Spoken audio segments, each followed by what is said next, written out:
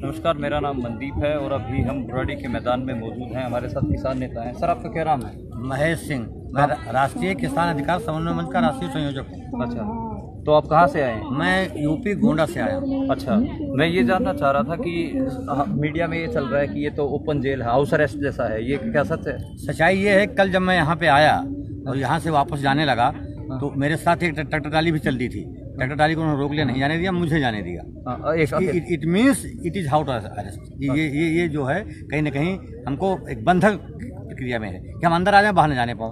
हम अगर फ्री हैं तो अंदर आओ बाहर जाएँ हम फिर यहाँ आएँगे क्योंकि हमको तीन तारीख को प्रधानमंत्री से वार्ता करनी है। तो हम यहाँ जो मैंने लेकिन यहाँ जो हाउस अरेस्ट है ये व्यवहार में दिखाई पड़ा इसलिए किसान यहाँ आना नहीं चाहता। हम फिर अच्छा कल पंजाब और हरियाणा के किसान ऑर्गेनाइजेशन ने कहा कि वो बॉर्डर पर ही डटे रहेंगे और ये तो सरकारी जो बुराड़ी में है वो सरकारी ग्राउंड में है।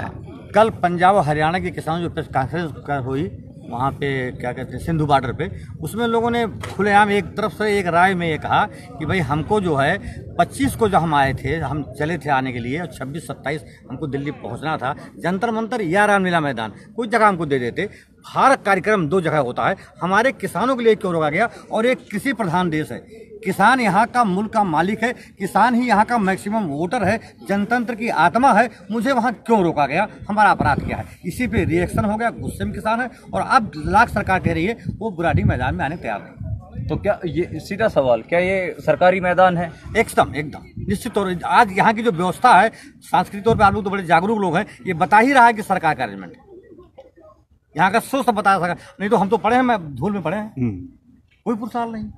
ना कोई पानी है ना कोई व्यवस्था है ना कहीं कुछ है ना कुछ है। और ये लग रहा है कि गवर्नमेंट का है क्योंकि यहाँ सेंटर है इस तरह से। जी।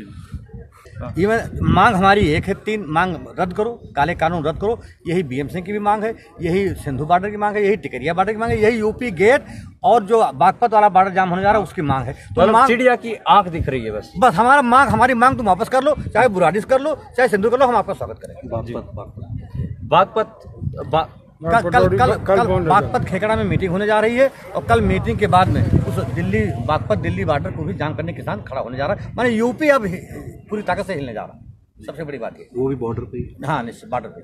बॉर्डर से बिहार नहीं जाने को तैयार नहीं कहीं ना कहीं सरकार ये लग गया कि सरकार ने हमको चिढ़ाया है। लोकतंत्र में लोक की आत्मा है तंत्र तुम हो हम किसान हैं साठ इकसठ परसेंट हैं। उसी की तो बात होनी मानी जानी चाहिए। हमारी बात तुम मानो लोकतंत्र और अगर हाईवे खाली कराने की कोशिश की उन्होंने अगर हाईवे खाली कराएँगे कुर्बानी देंगे जी। अगर हाईवे खाली कराएँगे तो आप समझिए अठारह सौ सत्तावन घटित होने जा रहा है। अगर हाईवे खाली कराए तो। मरने से नहीं डरे। इनकी फोर्स की गोली खत्म हो जाएगी सीने के मारे सीने खत्म नहीं होने। ये बिल्कुल दृढ़ निश्चय है।